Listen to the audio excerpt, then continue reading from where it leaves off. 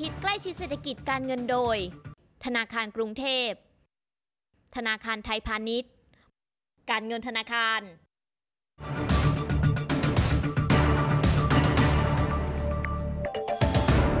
สวัสดีค่ะ ต้อนรับคุณผู้ชมเข้าสู่มันดี้เจลี่เช้าวันนี้นะคะ 12 พฤศจิกายน พุทธศักราช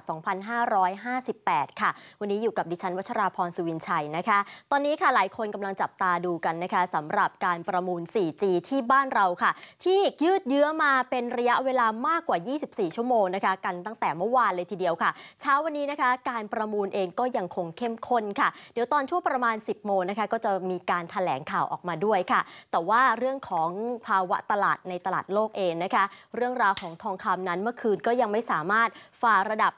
1,100 เหรียญต่อออนซ์ไปได้นะคะ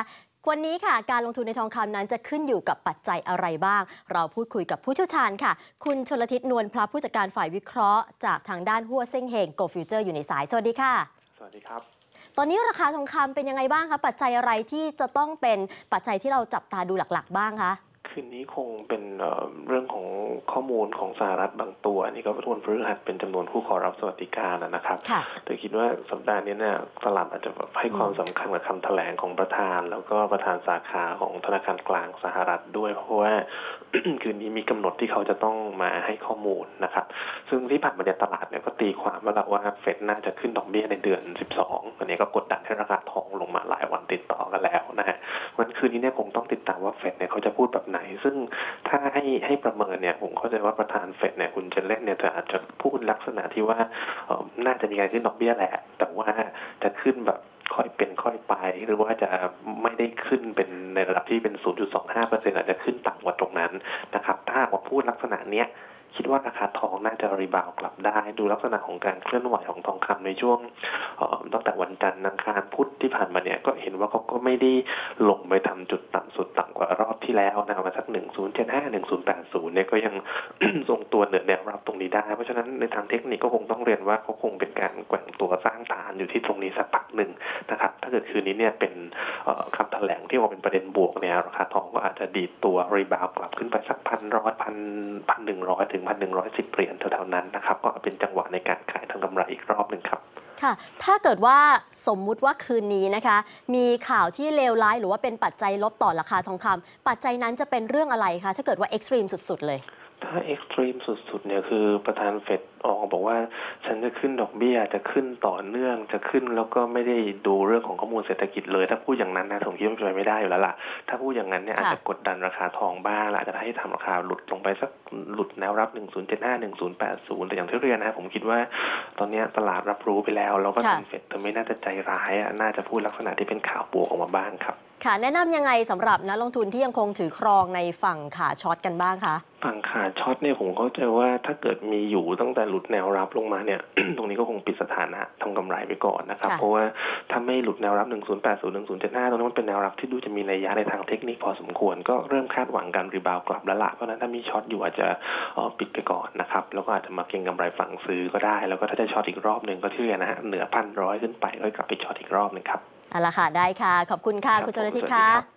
อย่าลืมนะคะ การลงทุนมีความเสี่ยงค่ะ ผู้ลงทุนควรศึกษาข้อมูลก่อนการตัดสินใจลงทุนนะคะ วันนี้ติดตามข่าวกันทั้งวันค่ะ รวมถึงเย็นนี้ด้วยนะคะ ยอดผู้ขอรับสวัสดิการและคืนนี้ค่ะ ที่ทางด้านสหรัฐอเมริกานั้นจะมีการถแถลงจากประธานเฟดนะคะ ส่วนเรื่องของการลงทุนเองค่ะอย่าลืมนะคะว่าการลงทุนมีความเสี่ยง ผู้ลงทุนเองนะคะ ควรจะศึกษาข้อมูลค่ะ แต่ว่าถ้าเกิดคุณไม่มีความเชี่ยวชาญเพียงพอหรือว่าไม่มีเวลานะคะ ผู้จัดการกองทุนเองนั้นพร้อมที่จะให้บริการค่ะ กองทุนรวมจึงถือว่าเป็นอีกหนึ่งทางเลือกค่ะ ที่จะทำใให้ผู้ลงทุนเองนะคะ สามารถ เติบสามารถสร้างผลกำไรหรือว่าผลตอบแทนได้เติบโตในสำหรับเงินเก็บของคุณผู้ชมเองนะคะ เพราะฉะนั้นค่ะเรามี Money Product มานะคะ เพื่อที่จะนำเสนอให้คุณผู้ชมได้รับทราบค่ะว่า วันนี้ล่าสุดนะคะเรามีกองทุนดีๆ อะไรมาฝากกันค่ะ แต่ว่าก่อนจะไปที่ Money Product กันนะคะ งานมหกรรมการเงินที่จะเกิดขึ้นในวันศุกร์นี้แล้วนะคะ 13ถึง15 พฤศจิกายนที่เชียงใหม่ค่ะ งานมหกรรมการเงินครั้งสุดท้ายของปีที่เชียงใหม่นะคะ เรามีโปรโมชั่นนดีๆ มาฝากกันค่ะ วันนี้เริ่มกันที่ธนาคารออมสินนะคะ สินเชื่อเคหะของธนาคารออมสิน อัตราดอกเบี้ย 0% 6 เดือนค่ะ ลูกค้าทั่วไปวงเงินกู้ต่ำกว่า 5 ล้านบาท กรณีทำประกันชีวิตเพื่อประกันสินเชื่อหรือว่า MRTA นะคะ แล้วก็ลูกค้าทั่วไปวงเงินกู้ตั้งแต่ 5 ล้านบาทขึ้นไป รวมถึงกลุ่มวิชาชีพเฉพาะก็เอาไปเลยค่ะ 0% 6 เดือนค่ะ ส่วนทางฝั่งเงินฝากก็มีเช่นเดียวกันนะคะ ถ้าเกิดว่าไปเปิดบัญชีเงินฝากออมเงินออมทำพร้อมสมัครใช้บริการบัตรออมสินเดบิต และสมัครใช้บริการ m y m o นะคะ รับปิ่นโตออมเงินออมทำทันทีกันเลยทีเดียวในงานค่ะเปิดบัญชีเงินฝากทุกประเภท หรือว่าฝากสลากออมสินนะคะ ก็พิเศษกันตั้งแต่ 1,000 บาทขึ้นไป พร้อมสมัครใช้บริการไมโมรับกระปุกออมสินเด็กไทยกันไปในงานค่ะ ส่วนใครที่อยากจะเปิดบัญชีเงินฝากเผื่อเรียกพิเศษ 5 เดือน 10 เดือนหรือว่า 102 วันนะคะ ให้ดอกเบี้ยสูงพร้อมรับกระปุกออมสินเด็กไทยเป็นของที่ระลึกค่ะ และนอกจากนี้เองนะคะเปิดบัญชีเงินฝากสงเคราะห์ชีวิตและครอบครัว รับกรมธรรม์พร้อมความคุ้มครองทันที เลือกฝากเงินแบบไม่เกิน 5 ปีนะคะวงเงินไม่เกิน 1 ล้านบาท งานนี้ไม่ต้องตรวจสุขภาพค่ะ ส่วนงานสัมมนาดีๆนะคะมีเช่นเคยในงานมหกรรมการเงินทุกครั้งค่ะ วันที่ 14 พฤศจิกายนนะคะบ่ายโมงถึง4โมงเย็นที่เชียงใหม่ฮอลล์เซ็นทรัลพลาซ่าเชียงใหม่แอร์พอร์ตคุณนิพนธ์และคุณวิริยา ก็จะมาแชร์กันแหละค่ะว่า เราจะมาดูจังหวะการลงทุนอย่างไรกันได้บ้างนะคะ มาคว้าโอกาสกันค่ะยามที่เงินทุนไหลกลับตลาดเกิดใหม่เศรษฐกิจไทยในไตรมาสที่ 4 นั้นเป็นอย่างไร ส่งไม้ต่อไปปี 2559 เป็นอย่างไร แล้วเราจะเลือกลงทุนในหุ้นตัวไหนนะคะ หุ้นตัวไหนที่ดีเด่นแล้วก็ดังนะคะ งานนี้ก็จะมีคำตอบแน่นอนค่ะ อย่าลืมสำรองที่นั่งกันนะคะ เพราะว่าท่านคงไม่อยากจะได้ตั๋วยืนกันใช่ไหมล่ะคะ เพราะฉะนั้นโทรไปเลยค่ะ 026900921-2 ค่ะ 026900921-2 นะคะ อย่าลืมค่ะ โทรตอนนี้กันได้เลยนะคะ และช่วงนี้ Money Product ของเราพร้อมแล้วไปชมกันเลยค่ะ